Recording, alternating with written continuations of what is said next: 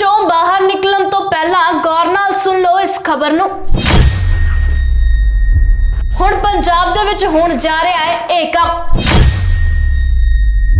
ਪੰਜਾਬੀਆਂ ਦੇ ਲਈ ਆ ਗਈ ਹੈ ਇੱਕ ਵੱਡੀ ਖਬਰ। ਸਤਿ ਸ਼੍ਰੀ ਅਕਾਲ, ਤੁਸੀਂ ਜੁੜੇ ਹੋ ਸਾਡੇ ਚੈਨਲ ਦੇ ਨਾਲ।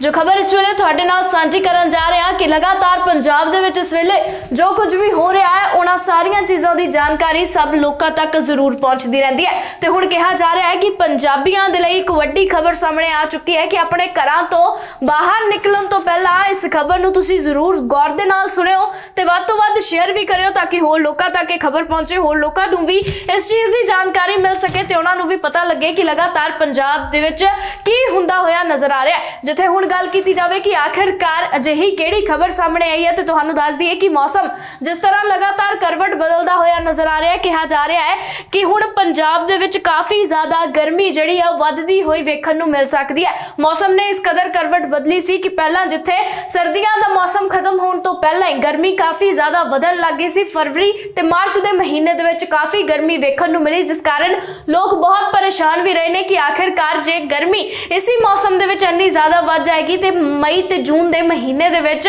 ਕੀ ਹਾਲ ਹੋਵੇਗਾ? ਕਿਸ ਤਰੀਕੇ ਗਰਮੀ ਵੱਧਦੀ ਹੋਈ ਨਜ਼ਰ ਆਵੇਗੀ? ਜਿਸ ਕਾਰਨ ਲੋਕ ਬੇहद ਪਰੇਸ਼ਾਨ ਸੀ, ਪਰ ਗਰਮੀ ਦਾ ਸਾਹਮਣਾ ਸਾਰੇ ਲੋਕਾਂ ਨੂੰ ਕਰਨਾ ਪਿਆ ਤੇ ਸਭ ਲੋਕਾਂ ਨੇ ਪਰੇਸ਼ਾਨੀਆਂ ਦਾ ਵੀ ਸਾਹਮਣਾ ਜ਼ਰੂਰ ਕੀਤਾ ਜਿਸ ਤੋਂ ਬਾਅਦ ਹੁਣ ਗਰਮੀ ਥੋੜੀ ਘਟਦੀ ਹੋਈ ਨਜ਼ਰ ਜ਼ਰੂਰ ਆਈ ਹੈ। ਗਰਮੀ ਇਸ ਕਦਰ ਘਟੀ ਹੈ ਕਿ ਤਾਪਮਾਨ ਦੇ ਵਿੱਚ ਗਿਰਾਵਟ ਹੋ ਰਹੀ ਸੀ। ਜਿੱਥੇ ਤਾਪਮਾਨ 40 ਡਿਗਰੀ ਸੈਲਸੀਅਸ ਤੱਕ ਪਹੁੰਚਦਾ ਹੋਇਆ ਨਜ਼ਰ ਆਇਆ, ਹੁਣ ਉੱਥੇ ਦਿਨਾਂ ਦੇ ਵਿਚਕਾਰ ਮਾਰਚ ਦੇ ਮਹੀਨੇ ਦੇ ਵਿੱਚ ਇਹ ਜਿਹੜਾ ਤਾਪਮਾਨ ਸੀ, ਉਹ 40 ਡਿਗਰੀ ਤੋਂ 25 ਡਿਗਰੀ ਸੈਲਸੀਅਸ ਤੇ ਪਹੁੰਚਦਾ ਹੋਇਆ ਨਜ਼ਰ ਜ਼ਰੂਰ ਆਇਆ।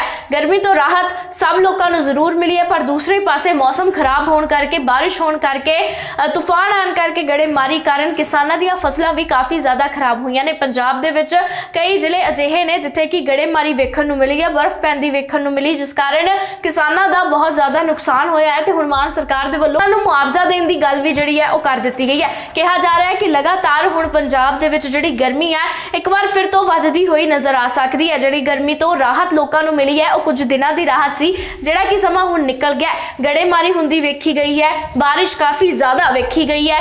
ਜਲੰਧਰ ਦੀ ਫਗਵਾੜਾ ਦੀ ਗੱਲ ਕਰੀਏ ਤਾਂ ਦੋ ਦਿਨ ਲਗਾਤਾਰ ਮੀਂਹ ਪੈਂਦਾ ਰਿਹਾ, ਜਿਸ ਕਾਰਨ ਰਾਹਤ ਗਰਮੀ ਤੋਂ ਜ਼ਰੂਰ ਮਿਲੀ, ਪਰ ਕਿਸਾਨਾਂ ਦੀਆਂ ਦੂਸਰੇ ਪਾਸੇ ਪਰੇਸ਼ਾਨੀਆਂ ਵੱਧ ਗਈਆਂ, ਕਿਉਂਕਿ ਉਹਨਾਂ ਦੀ 6 ਮਹੀਨੇ ਦੀ ਪਾਲੀ ਜਿਹੜੀ ਫਸਲ ਸੀ, ਉਹ ਬਿਲਕੁਲ ਖਰਾਬ ਹੋ ਚੁੱਕੀ ਹੈ। ਹੁਣ ਸਰਕਾਰ ਦੇ ਵੱਲੋਂ ਮੁਆਵਜ਼ਾ ਦੇਣ ਦੀ ਗੱਲ ਜ਼ਰੂਰ ਕੀਤੀ ਗਈ ਹੈ ਪਰ ਦੂਸਰੇ ਪਾਸੇ ਜਿੱਥੇ ਗੱਲ ਕਰੀਏ ਕਿ ਆਉਣ ਵਾਲੇ ਸਮੇਂ ਦੇ ਵਿੱਚ ਪੰਜਾਬ 'ਚ ਕਿਹੋ ਜਿਹਾ ਮੌਸਮ ਰਹੇਗਾ ਤੇ ਮੌਸਮ ਵਿਭਾਗ ਨੇ ਦੱਸ ਦਿੱਤਾ ਹੈ ਕਿ ਹੁਣ ਲਗਾਤਾਰ ਕੜਾਕੇ ਦੀ ਧੁੱਪ ਪੈਂਦੀ ਹੋਈ ਨਜ਼ਰ ਆਵੇਗੀ ਜਿਸ ਕਾਰਨ ਹੁਣ ਗਰਮੀ ਹੋਰ ਜ਼ਿਆਦਾ ਵਧੇਗੀ ਤਾਪਮਾਨ ਵੀ ਲਗਾਤਾਰ ਵੱਧਦਾ ਹੋਇਆ ਨਜ਼ਰ ਆਵੇਗਾ ਤੇ ਤੁਹਾਨੂੰ ਤੇ ਸਾਨੂੰ ਸਭ ਲੋਕਾਂ ਨੂੰ ਗਰਮੀ ਦੇ ਕਾਰਨ ਬਹੁਤ ਸਾਰੀਆਂ ਪਰੇਸ਼ਾਨੀਆਂ ਦਾ ਸਾਹਮਣਾ ਜਿਹੜਾ ਉਹ ਕਰਨਾ ਪੈ ਸਕਦਾ ਹੈ। ਇਹ ਕਿਹਾ ਜਾ ਰਿਹਾ ਹੈ ਕਿ ਜਿੰਨਾ ਹੋ ਸਕਦਾ ਗਰਮੀ ਦੇ ਵਿੱਚ ਆਪਣਾ ਬਚਾਅ ਰੱਖਿਆ ਜਾਵੇ ਘਰਾਂ ਤੋਂ ਬਾਹਰ ਨਿਕਲਣ ਤੋਂ ਪਹਿਲਾਂ ਵੀ ਤੁਸੀਂ ਸਹੀ ਤਰੀਕੇ ਅ, ਜਿਹੜਾ ਆਪਣੇ ਆਪ ਨੂੰ ਕਵਰ ਕਰਕੇ ਵੀ ਨਿਕਲੋ ਦੂਸਰੇ ਪਾਸੇ ਬੱਚਿਆਂ ਦਾ ਵੀ ਖਿਆਲ ਰੱਖੋ ਕਿਉਂਕਿ ਇਹ ਜਿਹੜੀ ਧੁੱਪ ਹੈ, ਹੁਣ ਕਾਫੀ ਜ਼ਿਆਦਾ ਤਿੱਖੀ ਨਿਕਲਦੀ ਹੋਈ ਨਜ਼ਰ ਆਵੇਗੀ, ਜਿਸ ਕਾਰਨ ਗਰਮੀ ਹੁਣ ਦਿਨੋਂ ਦਿਨ ਵੱਧਦੀ ਹੋਈ ਹੀ ਨਜ਼ਰ ਆਵੇਗੀ। ਜਿੰਨੀ ਗਰਮੀ ਵਧੇਗੀ ਉਨੀਆਂ ਹੀ ਪਰੇਸ਼ਾਨੀਆਂ ਲੋਕਾਂ ਦੀਆਂ ਵੱਧਦੀਆਂ ਹੋਈਆਂ ਨਜ਼ਰ ਆਣਗੀਆਂ ਤੇ ਹੁਣ ਗਰਮੀ ਤੋਂ ਰਾਹਤ ਮਿਲਣ ਦੀ ਗੱਲ ਕਰੀਏ ਤਾਂ ਕਿਹਾ ਜਾ ਰਿਹਾ ਹੈ ਕਿ ਕਈ ਦਿਨਾਂ ਤੱਕ